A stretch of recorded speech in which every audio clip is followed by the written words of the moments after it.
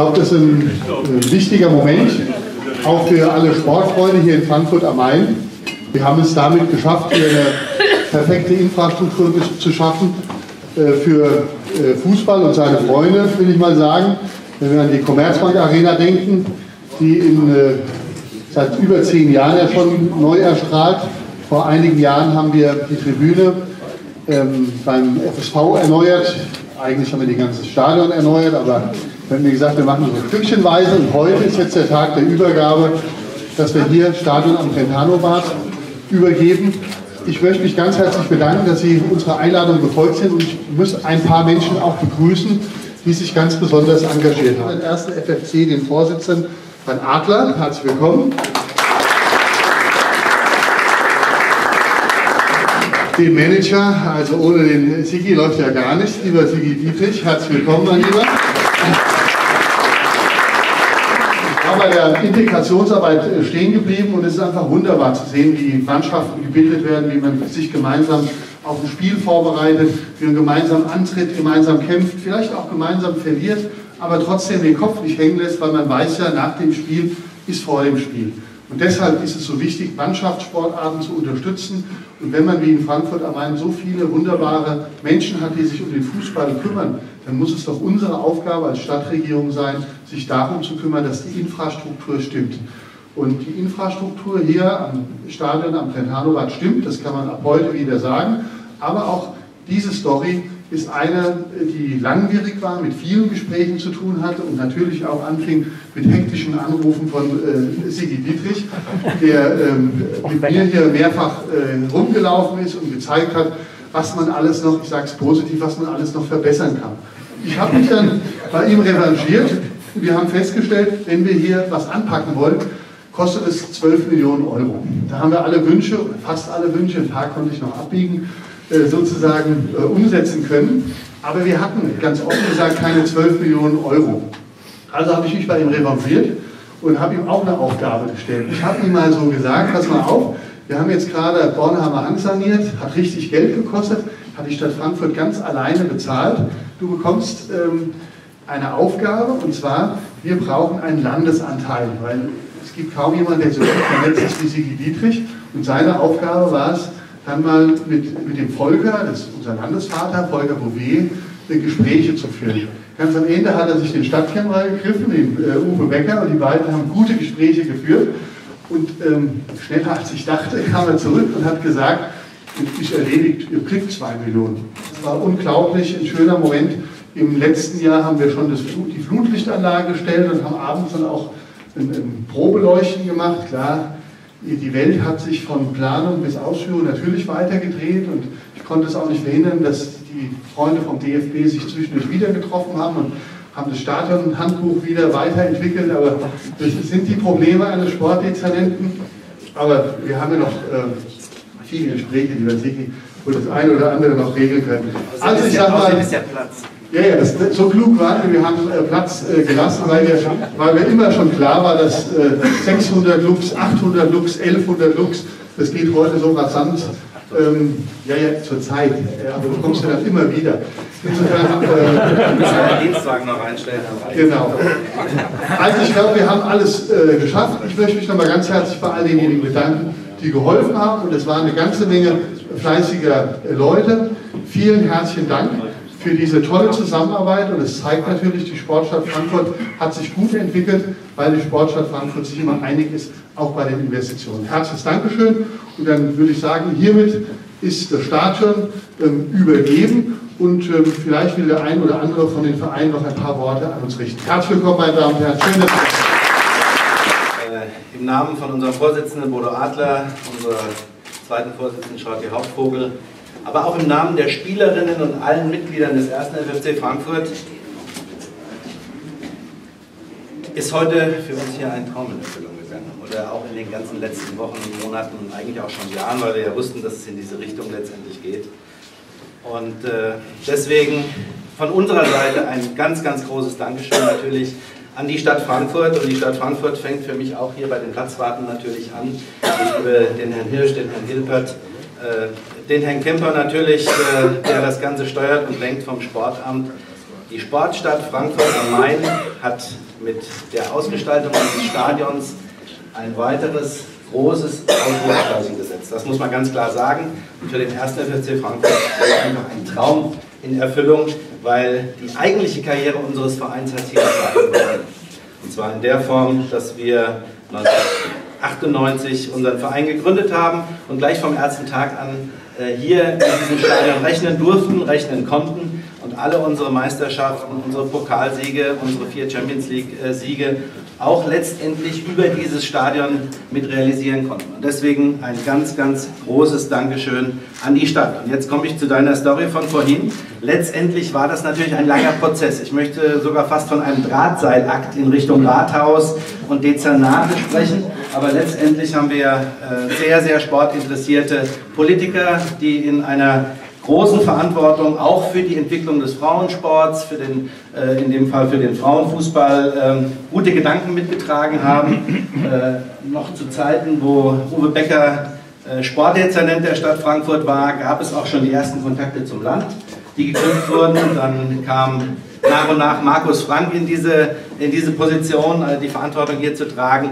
Und dann gab es diese Brücke in Richtung Wiesbaden äh, und dann ging es darum, die letzten zwei Millionen noch auf den Tisch zu legen. Und äh, das war dann im Prinzip der Akt, der dazu geführt hat, dass dann auch von der Stadtverordnetenversammlung letztendlich äh, ein Okay kam dafür, dass ein Betrag in dieser Dimension, man stelle sich vor, die Stadt Frankfurt hat eine Commerzbank Arena, die hat einen, äh, einen, äh, einen, einen Bornheimer Hang, äh, der auch für unfassbare Summen renoviert wurde.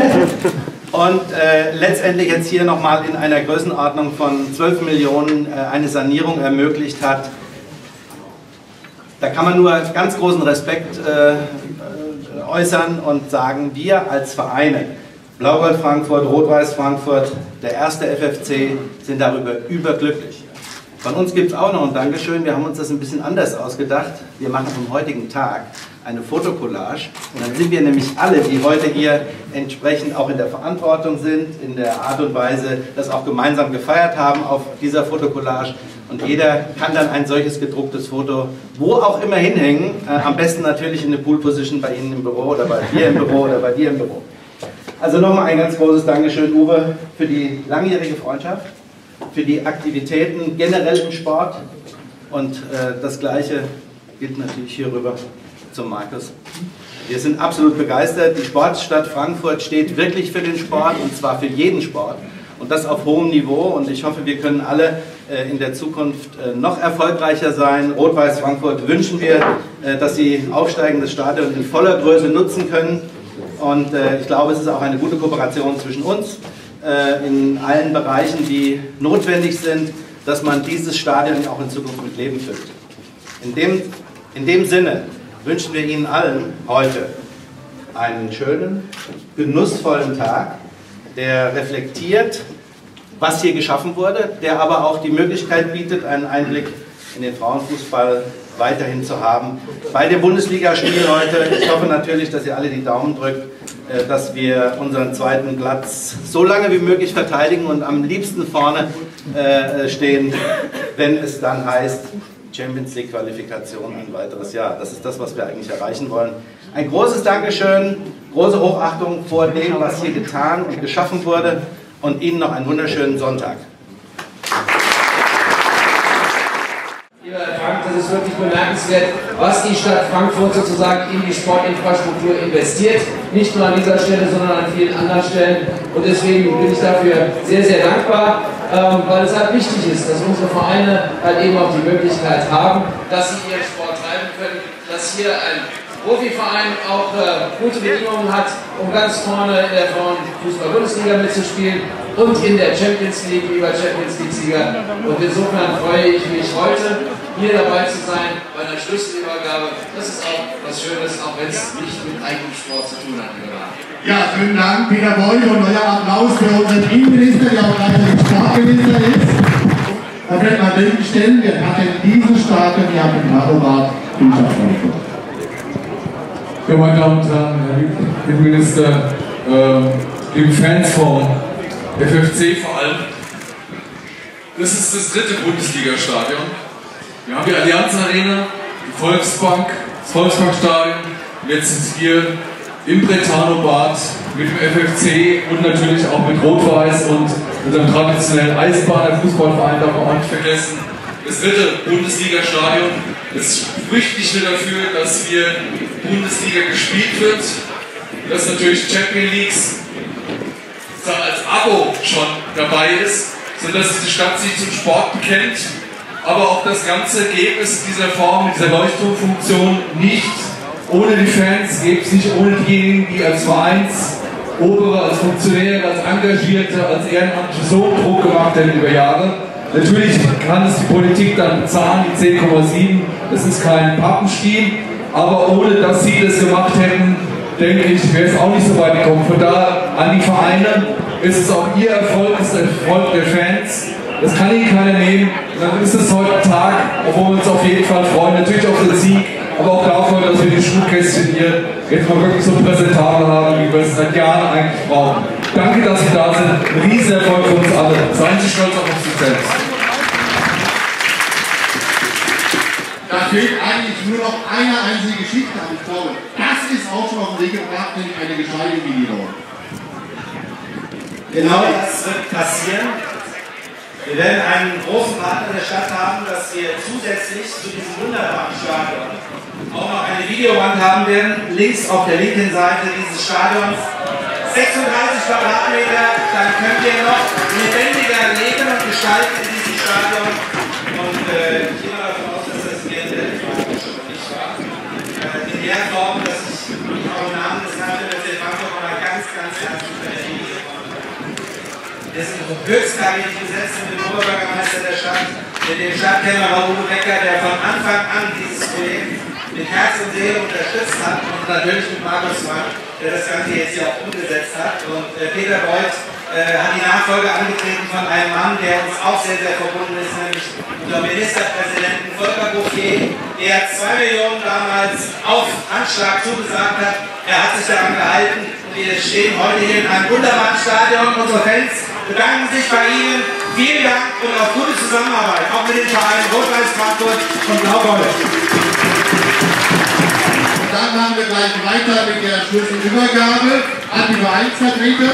Und zwar die Vereinsvertreter des ersten FC Frankfurt in Form des Präsidenten Bodo Adler, des ESV Blau-Gold, Robert Stafetius und Rot-Weiß Frankfurt der Präsident und da Glückwunsch erstmal an Rot-Weiß Frankfurt. Gestern hat er diesen Weg getan. Thomas in der Ecke, dass Rot-Weiß in der Oberliga der ersten Zeit gestern der Spitzenreiter ist. Ja. Sieg in Altenau, ja, muss ich leider sagen, Magdeburg Steinberg, wo unbedingt gespielt, aber ihr werdet euch schon schön rein in den nächsten Spielen. Ich drücke euch noch die Daumen, dass ihr schafft, endlich mal wieder nach oben zu kommen. Und jetzt in der Schlüsselübergabe der Stadt Frankfurt an die drei Vereinsvertreter. Ja, natürlich. Also wir haben hier wunderbare Vereine, die eine wunderbare Heimat haben und wir übergeben jetzt den Schlüssel an den ersten FFC, an Rot-Weiß und Blau-Gold. Und wir wünschen euch, dass ihr hier eine wunderbare Zeit habt. Viele Erfolge, wir werden bei euch sein. Alles Gute für den Sport in unserer Stadt. Viel Erfolg!